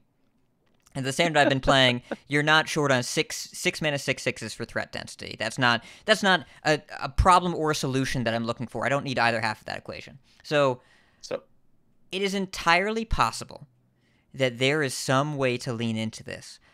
I plan on leaning into it by queuing into people doing that on the day it comes out and wishing them a happy Valentine's Day as I as I curve out with one drops and two drops and they have a six mana six six in their hand that they play and then die to my grave strength or whatever I'm playing. Now, doesn't mean there's no way this works. And I like hearing both of you find ways this could happen. And Edelweiss, this is why we wanted you to read this live on the show because it was just a journey into a magical place. But I'd be surprised if it was a major ladder contender. And if it is, I would be concerned about that meta. Any meta where this is happening routinely and it wins you games often, that's I'm a little concerned about the play patterns. Can- But can it does look fun. quick, can I offer quick a quick counterpoint? So I joined this podcast almost exactly a year ago, and the first episode that I was on was when we were talking about Onyxia's lair. And on that day, we all saw Kazakusan, and we all looked at it and said, "This looks fun, but there's no way that this is going to be a relevant card in the meta." And for the next three months, that was all we played against. So I'm willing to be wrong on this, but I'm also looking at this saying this is a card that a lot of people are going to try. And it's it's a neutral, so there's a lot of different ways you can try to get it to work. And a lot of the times, whenever we've looked at one of these neutral legendaries that looks like it's really fun and really slow, and there's no way that it's going to work, boy, do we look stupid the next week. So that's why I'm I'm trying to figure out how to make this work. And I have a feeling that if I'm not saying that all these ways are going to work, they're probably go- going to all be there. A lot of them are going to be bad. But if Lady Prestor was able to be meta relevant for a month, I don't. I I could see a world in which this is too. That's all I'm saying. I do not think this is Kazakusan. I was higher on that card than than you two were. Uh, I'm probably still higher on this card than you two are. Uh, Oh but no, I you're not. don't. not. Not than me. I'm fine with. I'm I'm on the same level as you are. We'll so. see. I think another thing is we're gonna get rotation and very much dependent on what happens in that new expansion. This could be showing up a lot more than it does in six set. It could like listen. I Four I- set I tends to would- be slower. over the way we were winning in Voyage, maybe this fits in. I could see it, and I'd rather have some way that games end instead of no way that games end. Though, given the cards that are in the March of the Lich King standard, I don't think that we will have a problem even after rotation with finding ways to actually do damage and, and lethal people, even with post nerf Denathrius. Um, but I don't know. I like shuffling in three cards that are all six mana neutrals. I don't know. It feels a lot Yeah, like C'Thun the Shattered. And having to run all those minions to get to Nathrius pumped up enough to do enough damage to Oh, win a come game. now. That's Come never gonna happen. Compared to I, am I'm the just saying, like The I'm- I'm C'Thun the just Shattered saying that comparison, I think, is pretty close. eh, Yeah. I, I, I mean, like Druid. Uh, first of all, whenever there's a neutral legendary, the use case is Druid. Druid's already running things like due process to draw through their whole deck in order to be able to do Astalor combo. And this eh, this is something that, you know, I don't I don't know if they're gonna if they're gonna keep doing Astalor combo. That deck has needed some help. Maybe this is another way that they get a win condition or a secondary win condition for one card in that deck. Like there, a Svalna Priest runs exactly one Deathrattle, that right now is Lightshower Elemental. That deck draws through incredibly quickly, and I Yeah, can but- see that happening as well because those games go very long. There are, I think that there are enough ways that someone is going to hit potentially. I, I think that it's the likelihood is is higher on this than on some of the other neutral legendaries we've seen. I, I think it's going to get tried in a lot of stuff, and then there will maybe there will be two, maybe three classes Yep. that actually have the cards to make it functional. Uh, I think Shaman has some real potential because of targeted draw, impressions, and a, way of triggering all three at once in from the other side. Because that is like guaranteed. It plays all three of them. It kills all three of them. and that is sort of the trickiest part with all of them being six mana is how do you how do you get them all played and killed um, There's yeah and we don't know the support yet and there's like they don't print this without nothing to go with it right and the jailer saw a little play right? The jailer from the last mini set saw a little play mm-hmm. looked a little memey Yep. but people tried it out. It had some it had some use cases. This will have some fringe use cases i think. I'm Yeah. going to emphasize the word fringe. I think fringe is about right. but people will try it. The amount of discussions that we've had about it so far already make me happy that they made it. Because this is the kind of thing that a certain subset of the player base Edelweiss reaches for and looks for whenever they can, and I am glad they're giving those players something to dream about. And there will be times when this works. There will be streams on day one where this works and it will end up on untrolled and it will be a grand old time. I think, in the grand scheme of things, unless we get some very powerful support enablers here, that this is going to work less often than it won't work. I imagine it'll be a pretty lopsided graph as to which portion is larger, but when it works, it'll be awesome. Yeah. And a lot of people are going to try. You're going to see it. Yes. You're going to see it, right? Like whether or not it works or not. Like this is not Neptulon and Ozumat, right? Like these this is a little bit more of of a of a deck deck and a deck building challenge that people are going to try to make it work because people love the words destroy the enemy hero. That is something that that people enjoy. And there are a lot of OTK gamers that will try to find a way to make this work. I mean, they got Uther, oh, you know, Uther of the Ebon Blade to work eventually, right? So I, I imagine that at some point someone will figure out a way to way that this works. How consistent will it be? Who knows? But they'll figure something out. I have my theories as to how consistent it will be. I Not will very. Leave, I will leave those as an exercise for the listener. And that's all we have for today. There are going to be, so for everyone that doesn't remember how these work, the reveals are usually like four days. Uh, so we'll have cards. We had a few cards today. We've got on tomorrow, we've got the neutrals first, then a Hunter, then Priest cards. On Saturday, we've got Paladin, Warrior, and Mage, and Demon Hunter. Wow, a lot. And on Sunday, we've got Shaman, Rogue, Druid, and Warlock. So by Sunday the 12th, all the cards will be revealed. And we will expect the patch to hit. Uh, we, we know the patch will hit on Tuesday, on the 14th. We know that will include mercenaries changes, as outlined earlier in the show. Uh, there's probably some other stuff. Matt London has made some teases, as he is known to do. And I would be unsurprised if we got Naxx in Classic along with getting Naxx in Standard. I would be highly unsurprised Mm, because that would be would, the right make a lot of for it. sense, right? Like yeah. they've Yeah. alluded to this Yeah, for I a guess. while, and putting Naxx in multiple formats at the same time seems like the sort of thing they would do. And Classic is full of bots anyway, so might as well give humans a reason to play it. Um, I would I would expect that, but I don't have any inside information. Don't know anything that's coming. This is all speculation, but that is my expeculation. And I guess if if it is going into classics, so now here's an interesting question: Does it go in with unnerfed Undertaker or nerfed Undertaker? I hope they give us that for like somewhere between two weeks to a month. like I, I can see a short period with it. There was Yeah. never a Naxx format without it. Is the problem? So you start to Right. think because they didn't nerf it until GVG came out six months Oh, later, that's which right. is That's true. That's insane. true, yeah. Um, so you have to wonder: Does it become a what could have been, or do they leave it as it was? And I think there is a reasonable argument for both. But let me tell you, if they don't nerf it, probably go play Undertaker. Probably do that.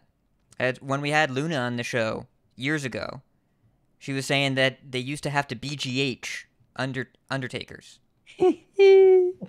oh man.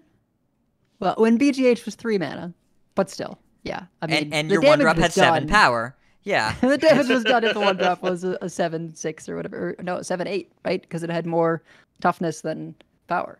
It did. Yeah. Um Yeah.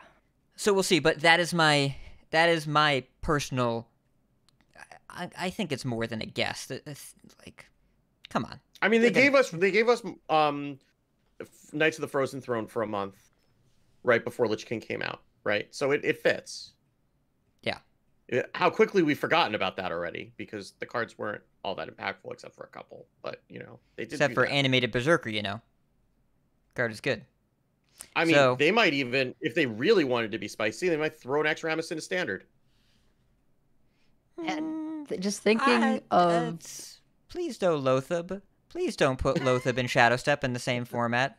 Please don't oh do man, that.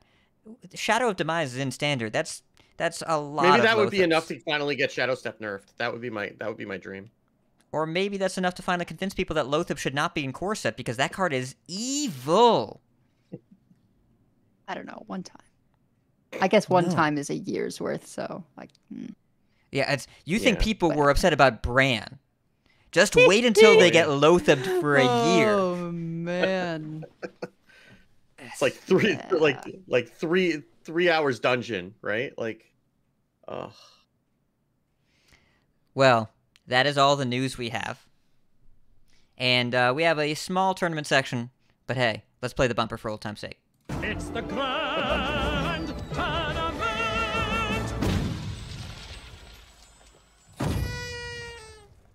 So we got an announcement from Supergirl Gamer Pro. They are going to be doing another Battlegrounds tournament. This is the weekend of March 4th and 5th. Qualifiers on the 4th, um, the and the championships on the on the 5th with a $2500 prize pool. If you are someone who identifies as a woman or I believe non-binary, Yep. um then sure. you are there is a link where you can apply and um, you should go do it because it is a tournament that you can participate in and it will be presumably streamed. So that is something that is you know kind of few and far between right now. So that's an opportunity and wanted to make sure that you're aware of it so you can go apply if that is if you meet those criteria and uh, think you want think you have what it takes. Yeah. And that's tournaments. So, we have many folks we'd like to thank. Check out our thanks section on the website, coinconcede.com. You can find our contact info, show notes, patron information. You can monetarily support us over at patreon.com slash. Join us every week live by following us on Twitch at twitch.coinconcede.com. Join our community chats in our Discord at discord.coinconcede.com. Write into our email at coinconcede@gmail.com. Follow us on Twitter at CoinConcede. Like, share, and follow us on Facebook at facebook.com slash CoinConcede. If you like some CC swag, head on over to our shop at shop.coinconcede.com. Big thanks to our producers, Number Theory, Doja K, Crash Cat, B Squatch, David P, Fade to Black, Wild Lou, Jeremy T, Bottle Caps, Lucky, Grumpy Monk, Crab Mart, and the Burger Club. Coin concedes. Who's got him? Edel.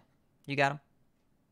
Yeah, so my coin concede is going to be to Bodicus in a very roundabout way here.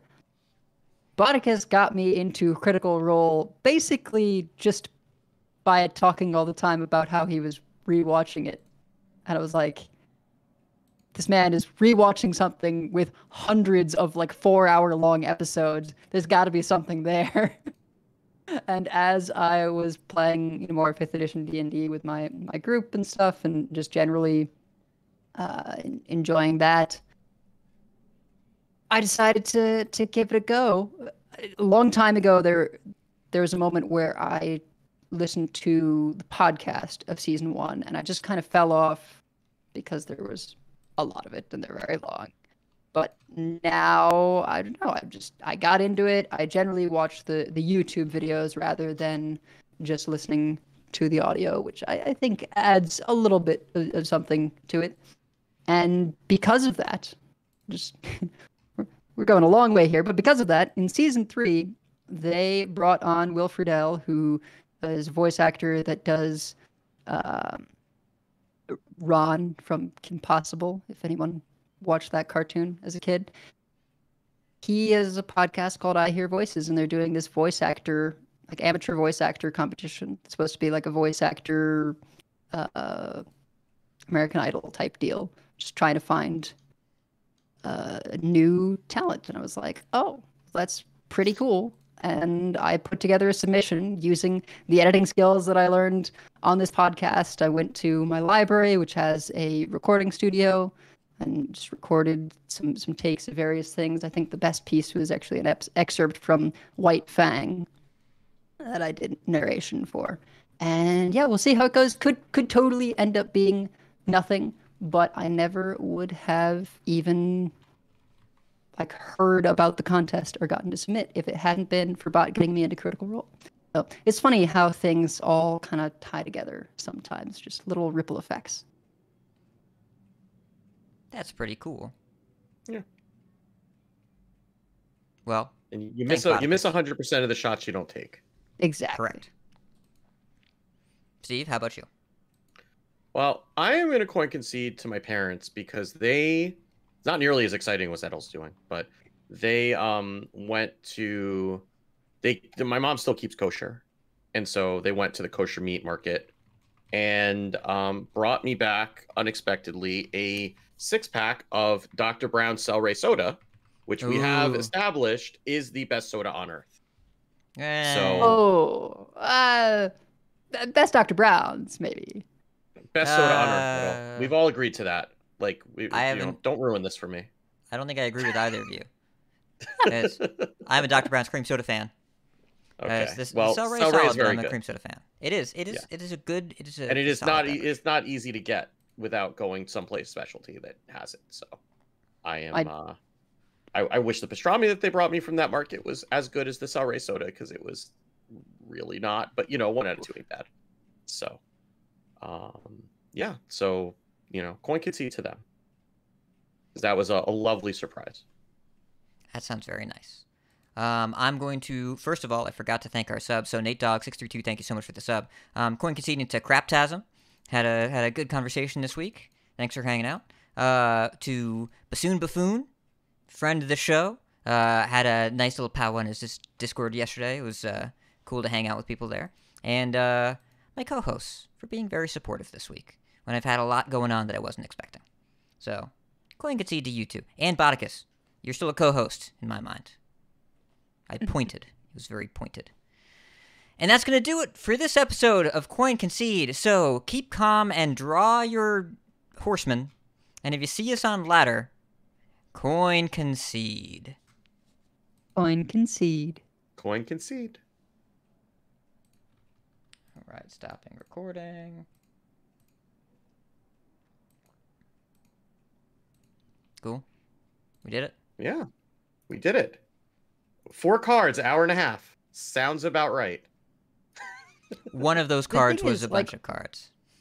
Yeah, and we're not going to get to talk about any more of them because it's just going to come out. And that's how many sets work. So, Yeah.